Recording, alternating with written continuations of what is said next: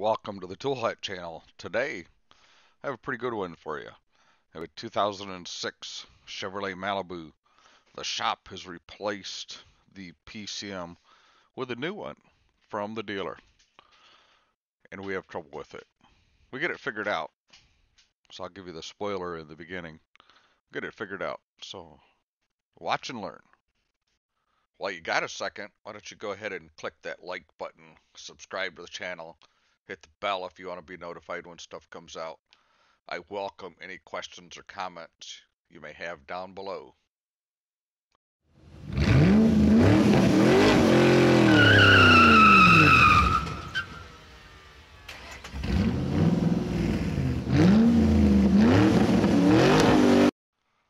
Okay, first things first. Any of the equipment that you see used in my videos is available on the website. If it's not there, send me an inquiry off the website, toolhutusa.com. That's T O O L H U T USA.com. My name is Sam. Okay, let's get this party started. 2006 Chevrolet Malibu. The shop has replaced the PCM with a new one from the dealer. I sent one of my techs here to program it. He had trouble with it. Tech support didn't answer the phone. So this is a second visit. Uh, we attempted to bench program this PCM and really just uh, decided let's just go see if there's something wrong with the car or something wrong with the computer or something wrong with AC Delco. Uh, I'll give you the spoiler in the beginning. We do we do get it figured out and it is not a car problem. How's that for a spoiler? All right, let's get this thing. Okay, so we're gonna because one of my techs has already been here.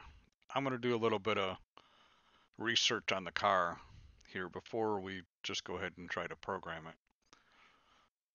So I got Tech2Win open here. We're just gonna ID the vehicle and we're gonna do an all modules scan. Like I said, this module failed during programming the first time.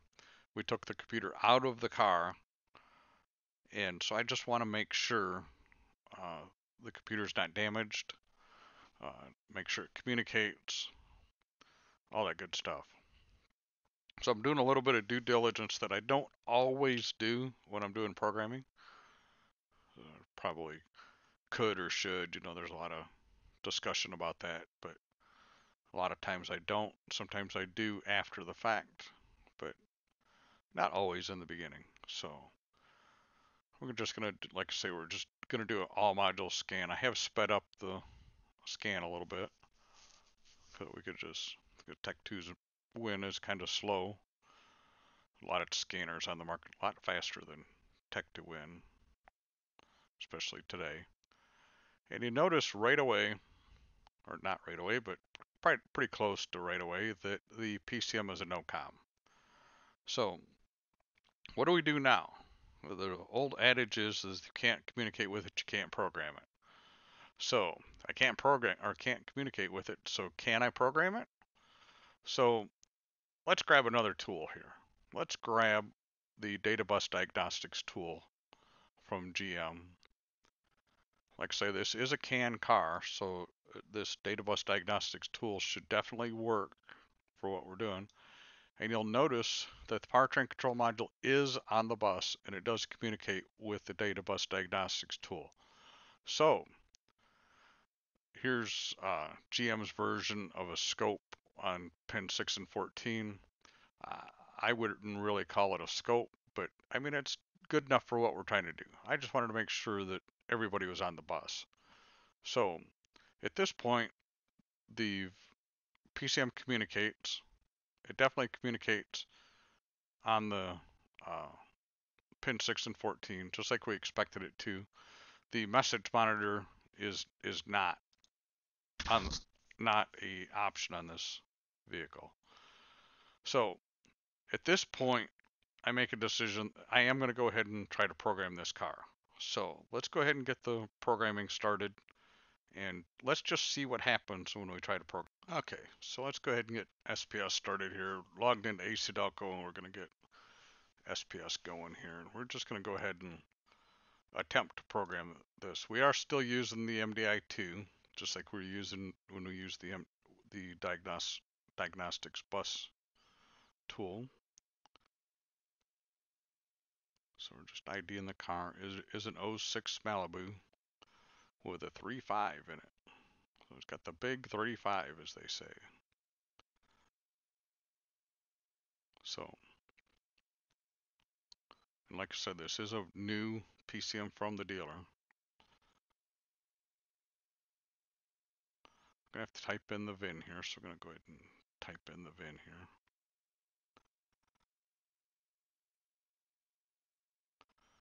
I've sped that up a little bit too, so you don't have to see how bad I type.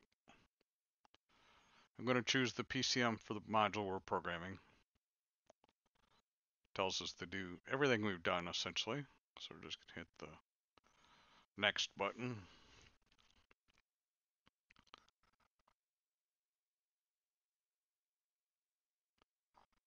All right, so we noticed that we got two choices here.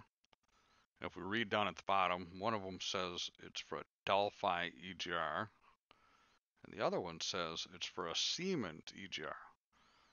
And the Delphi stands straight up, and the Siemens is off to the side. So, unfortunately, I don't have a picture of it. It is the Siemens EGR valve, so we're going to hit the next button.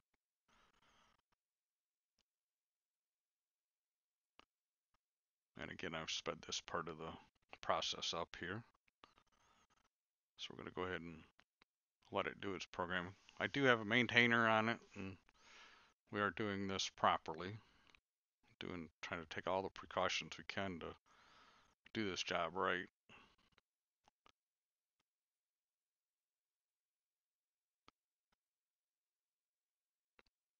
They don't always program real fast. They don't always program real slow, but they don't always program real fast.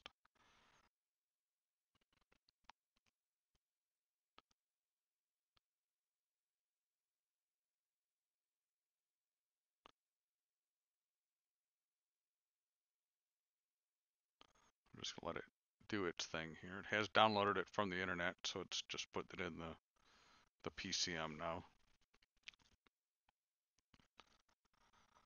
That being an 06, it's kind of one of the first years of the CAN stuff, so they tend to be a little finicky sometimes.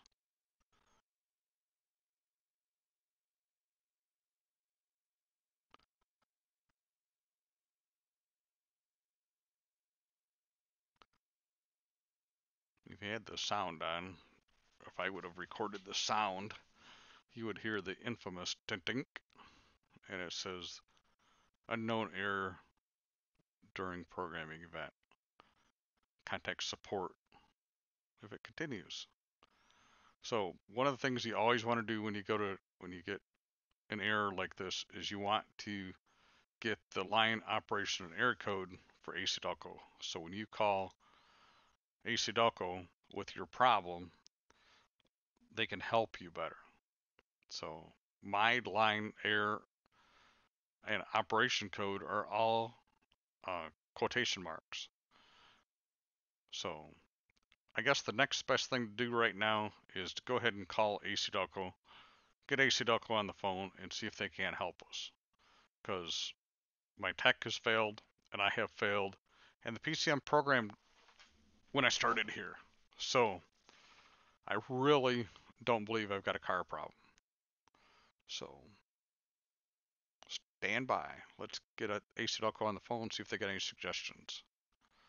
And sorry I did not record the phone call, so I'll be back in just a minute. Okay, so here's where you got to make a choice when you're doing a video. I was over two hours on the phone with ACDelco. ACDelco really didn't come up with anything that was beneficial, I didn't feel. So, what do you do? Well, remember when it asks us if it was a Delphi or a Siemens EGR valve?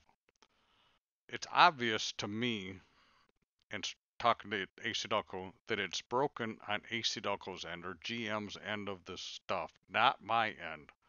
So it does not appear to be a car problem. It appears to be a software problem. So, against their advisement, I do program this vehicle with the Delphi EGR valve and then I go back and reprogram it again with the Siemens EGR valve because that's what it's got. But where it was failing was in the process of putting the VIN in the PCM.